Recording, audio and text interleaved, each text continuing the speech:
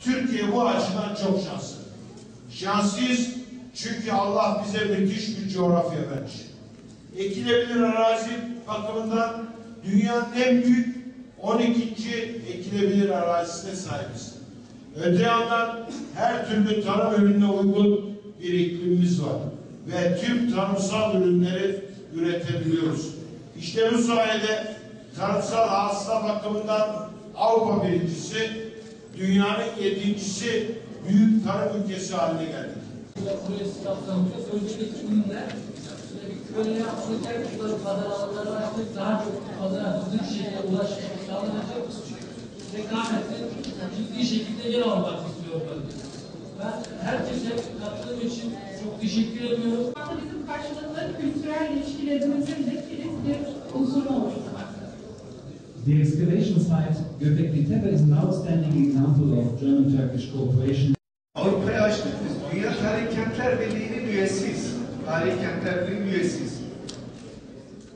Dünyanın en eski ansal tapınağının olduğu yer. Bazen orada hocalarımızla sohbet ederken soruyorum. Diyorum ki, ya hocam ayıp olmasın yani ben Urfa ile ilgili ne söylesem? Diyorlar ki Anadolu'nun bilinen en eski yerleşim. Anadolu'nun bilinen en eski yerleri. Böyle bir şehir belediye başkanı. Ya ne kadar sorumluluğumun olduğunu çok farkındayım. Onun için tarih yeniden canlandı. Hakikaten tarihin sıfır noktası olan Urfa'da artık tarih yeniden canlandı. Şanlıurfa Ticaret Borsamızın öncülüğünde yapılacak olan Pamuklu Lisanslı Depo'nun ilk adımını atmış olacağız. Buradaki Sanayi Bakanlığımızın vermiş olduğu destekten dolayı da onlara da ayrıca teşekkür ediyorum. Bu yatırım sadece Şanlıurfa'ya değil, GAP bölgesindeki pamuk çiftçimiz için, tüccarımız için, bölge sanayisi için büyük bir kazanım olacaktır.